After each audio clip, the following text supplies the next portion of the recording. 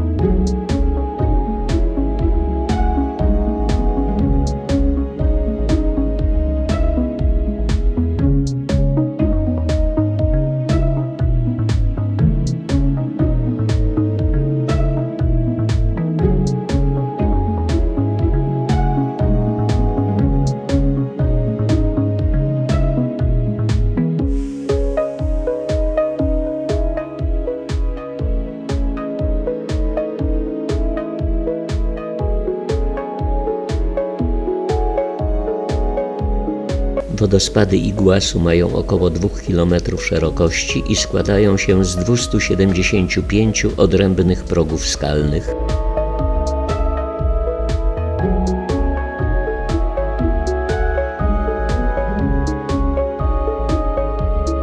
Z pomostu o długości 1,5 km możemy je obejrzeć z góry.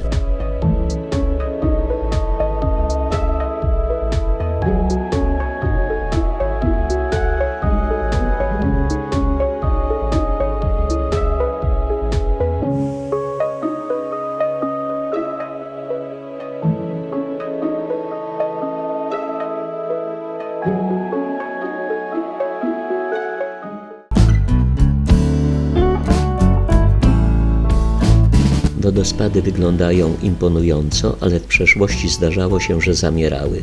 W maju i czerwcu 1978 roku, podczas szczególnie uporczywej suszy, z krawędzi wodospadu nie spływała woda przez 28 dni.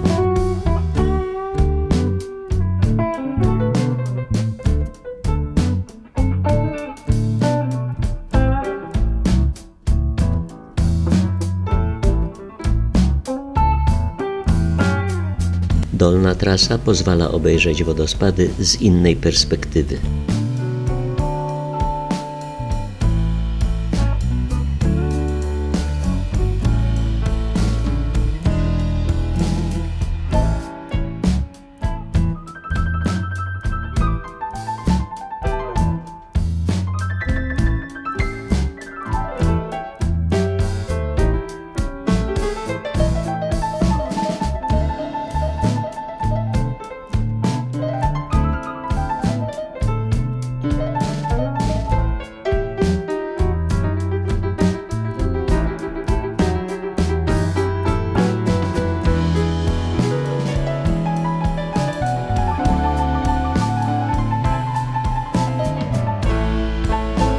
Obserwując igraszki wszędobylskich ostronosów, kończymy zwiedzanie wodospadów po stronie argentyńskiej.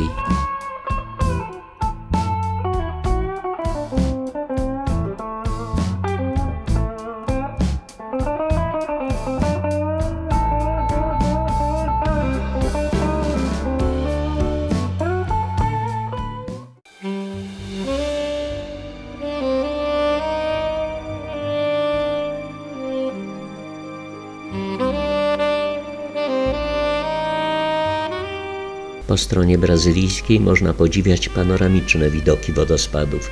Niestety od rana pada ulewny deszcz równikowy, co ogranicza pełną percepcję tego przyrodniczego cudu.